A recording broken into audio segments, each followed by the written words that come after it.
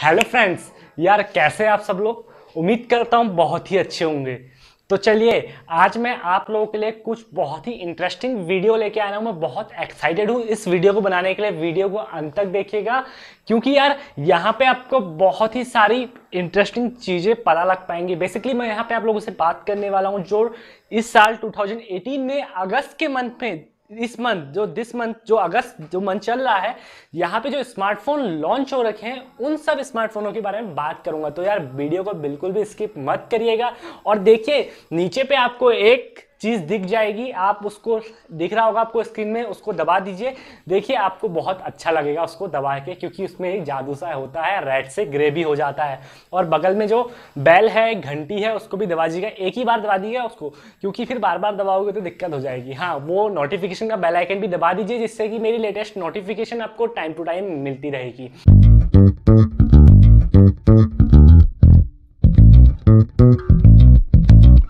तो यार सबसे पहले मैं यहाँ पे बात कर लेता हूँ आप लोगों से किस चीज़ के बारे में हाँ यहाँ पे मैं बात करूँगा आपसे Realme 2 के बारे में, जो यार बेसिकली परसों ही लॉन्च हुआ है बेसिकली दो दिन पहले लॉन्च हुआ है फ्लिपकार्ट के ऊपर।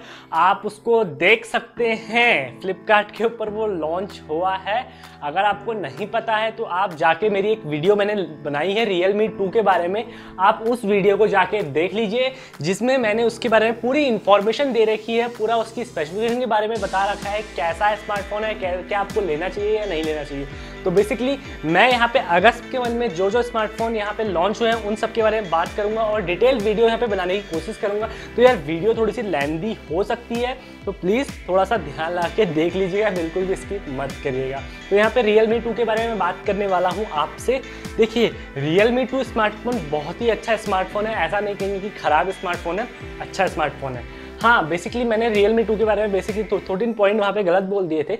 मैंने उसको डिस्क्रिप्शन में मेंशन किया है, उसके सही सही पॉइंट आप उसको एक बार जाके देख लीजिएगा, आपसे माफ़ी चाहता हूँ, क्योंकि मैं यहाँ पे डायरेक्टली वीडियो बनाता हूँ, कोई स्क्रिप्ट नहीं लिखता हूँ, कोई लिखता नहीं हूँ, भाई, ये चीज़ है, ये ये चीज़ है। डायरेक्टली एक on the moment on the spot यहाँ पर मेरी वीडियो बनती है। यहाँ पे रियल मी टू के बारे में हम बात कर रहे थे। रियल मी टू स्मार्टफ़ोन बहुत ही अच्छा स्मार्टफ़ोन है। हम कह सकते हैं ये आप कहेंगे कि Realme वन का सक्सेसर है। मैं यहाँ पे कहूँगा, नहीं भाई, Realme वन का सक्सेसर नहीं है। थोड़े बहुत अपग्रेड चेंजेस करके यहाँ पे आपको दे दिया गया है। अब बात करते हैं Realme 2 के बारे में। Realme 2 में आपको डिस्प्ले मिल जाती है नॉच वाली।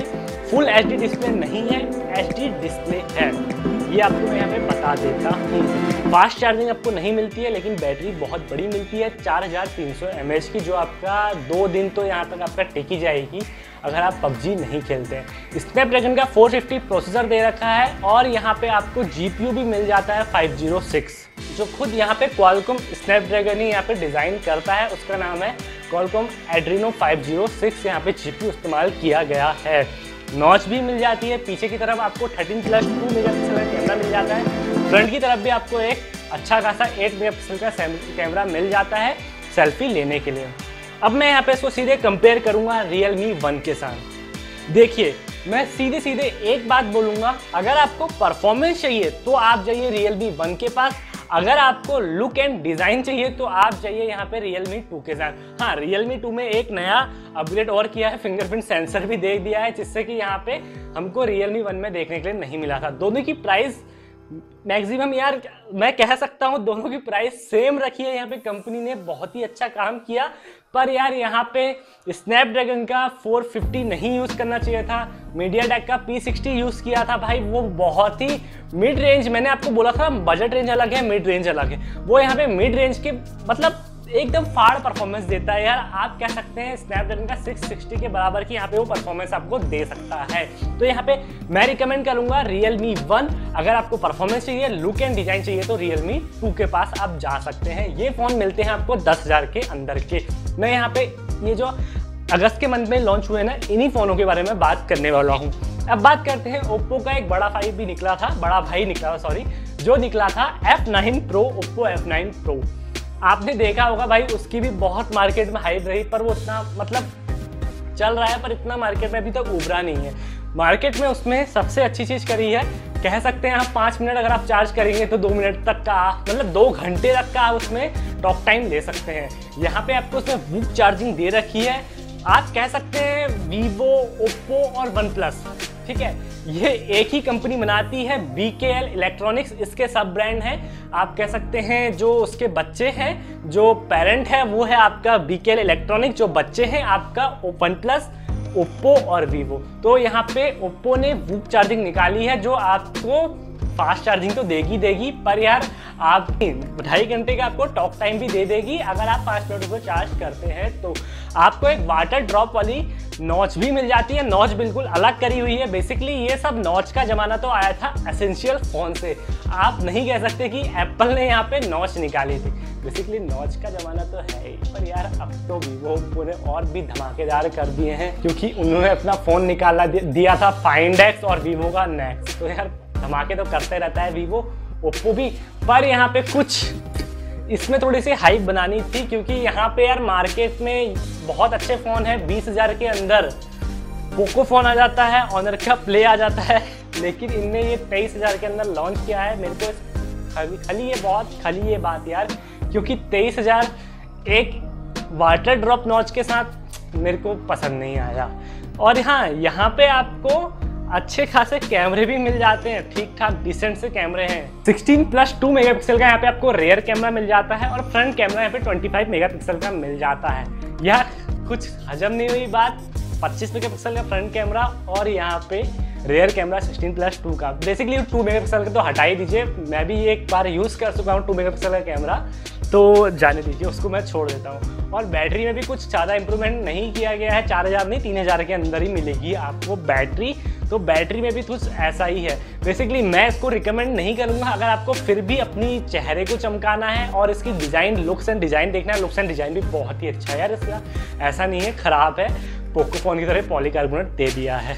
तो यार आपको समझ ही आ रहा होगा।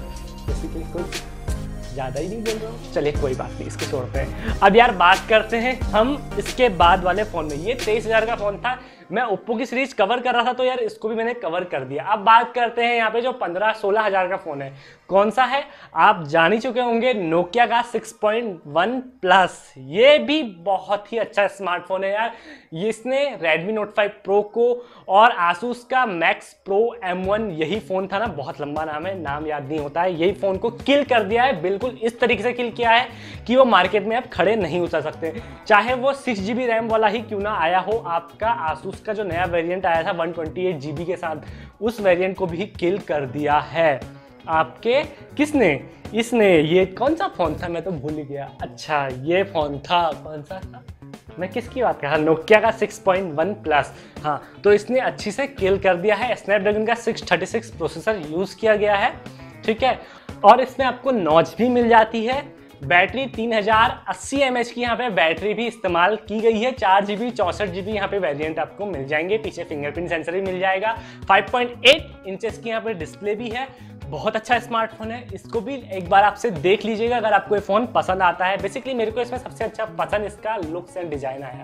भाई, दोनों फ़ोन से बहुत अच्छा यहाँ पे डिज़ाइन दिया है नोकिया के 6.1 प्लस में। हालाँकि ये एक वेरिएंट आपने देखा होगा जो यहाँ पे चाइना में लॉन्च किया था P60 के साथ, जो आता था दस हज़ार की रेंज के अंदर। उसका नाम था नोकिया का X5 बेसिकली वो यहाँ पे चाइना में लॉन्च किया गया था। वो फ़ोन अगर P60 के साथ अगर ये फ़ोन लॉन्च करते ना, ये बहुत ही अच्छा फ़ोन होता और प्राइस की थोड़ी सी कम कर देते क्योंकि P60 इतना महँगा प्रोसेसर नहीं है। क्योंकि मीडिया टेक ने बनाया है यार MediaTek mid range processor बनाता है और बजट रेंज प्रोसेसर बनाता है फ्लैक्सी वो नहीं बना पाता है। अब बात करते हैं, यहाँ पे अगले फ़ोन में हम जंप करते हैं, उसका नाम है ऑनर का प्ले भाई Xiaomi के पोको फ़ोन आने से पहले इसने मार्केट में सभी डिवाइसेस को किल कर दिया था। बिल्कुल एक तरीके से होता है ना, चाकू घोप दिया था। बिल्कुल सारे ब्रांड्स यहाँ पे खत्म हो गए थे। हालाँकि यहाँ पे Xiaomi ने अपना लॉन्च किया था एम आई ए टू इसके बारे में हल्का सा बात करेंगे बाद में, क्योंकि ये फ़ोन मेरे को सही लगा अच्छा नहीं लगा। अब बात करते हैं ऑनर की प्ले में। भाई, इसकी परफॉर्मेंस एकदम लाजवाब।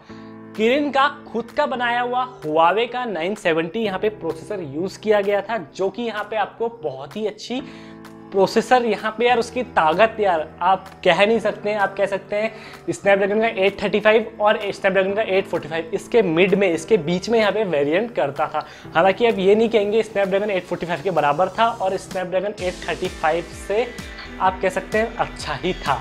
हाँ अब बात करते हैं, इसमें यहाँ पे जीपीयू भी इनका मालिका ही मिल जाता है, लेकिन यहाँ पे जी टर्बो यहाँ पे टेक्नोलॉजी इस्तेमाल करी गई है। ये इनकी खुद की टेक्नोलॉजी है यार, किसी को बांटेंगे नहीं और आशा करता हूँ, हर फ़ोन में यहाँ पे आपको अपडेट भी मिल जाएगा। आपको यहाँ पे ऑप्टिमाइजेशन की अपडेट आएगी या इसकी जी टर्बो की अपडेट आ जाएगी। अगर आप जो भी नए नए लेटेस्ट फ़ोन हुआवे के ऑनर के यूज़ करते हैं, चाहे शायद ऑनर का नाइन लाइट हो सकता है या ऑनर का सेवन एक्स हो सकता है, और इससे बड़े बड़े जो फ़ोन हैं ऑनर के, उसमें भी यहाँ पे शायद ये अपडेट पहुँचाने की कोशिश करें जी टर्बो की। और हाँ यहाँ पे आपको पीछे की तरफ़ 16 प्लस टू मेगा पिक्सल का यहाँ पे कैमरा मिल जाता है। और फ्रंट की तरफ़ भी यहाँ पे आपको बहुत ही अच्छा कैमरा मिल सकता है जिससे कि आप अपनी सेल्फी ले सकते हैं। और यहाँ पे यार ए आई यहाँ पे भरी पड़ी है। ए आई मतलब आप कह सकते हैं ना, अगर आप मेरी फ़ोटो ले रहे हैं, अगर आप इस फ़ोन से अगर मेरी फ़ोटोज़ ले रहे हैं तो यार आपको फ़ोटो में बहुत ही अच्छी मतलब वो जो कैमरा है, उस पीछे बैकग्राउंड को देख के, आपको देख के फ़ोटो को इस तरीके से कस्टमाइज कर देगा कि हाँ भाई, आपको फ़ोटो अच्छी ही लगनी है। और यहाँ पे एआई इस तरीके से बनाई गई है। आप अगर डेली यूजेस में उसको देखेंगे डेली यूजेस अपना फ़ोन यूज़ करेंगे तो उस तरीके से अपने आप वो फ़ोन आप आपकी हैबिट को देख के अपने आप को उस चीज़ में ढाल लेगा। मतलब आप इंस्टाग्राम के बाद फेसबुक खोलते हैं या फेसबुक के बाद इंस्टाग्राम खोलते हैं तो वो उसको उतना ही जल्दी रिलोड करेगा, इतना ही जल्दी उसको ओपन करेगा, क्योंकि वहाँ पे एआई टेक्नोलॉजी यूज़ करी गई है। बेसिकली कंपनी एआई के नाम पे यहाँ पे हवा बना रखा है पर वो है मशीन लर्निंग मैं बात कर लेता हूँ इसकी स्टोरेज के बारे में। यार स्टोरेज में आपको चार G B RAM six G B RAM का आपको वेरियंट मिल जाएगा सिक्सटी फोर जी बी की यहाँ पे इंटरनल स्टोरेज भी मिल जाएगी। लेकिन यार, सबसे अच्छी बात यहाँ पे ये करी गई है, यहाँ पे आपको U F S two point one की टेक्नोलॉजी इस्तेमाल में करी गई है। इसके बारे में भी आगे बात करूँगा। नेक्स्ट वीडियो में मैं इसको बताऊँगा कि U U F S two point one होता क्या है। इसके बारे में मैं आपको डिटेल में एक वीडियो बना दूँगा। तो यहाँ पे यार ऐसी टेक्नोलॉजी इस्तेमाल में करी गई है। बेसिकली जब तक आपका सोमी का जो पोको फ़ोन नहीं आया था, तब तक इसने यहाँ पे मार्केट में किल करा था सब स्मार्टफ़ोन को। अब यहाँ पे मैं बात कर लेता हूँ आपसे शाओमी के पोको फ़ोन के बारे में।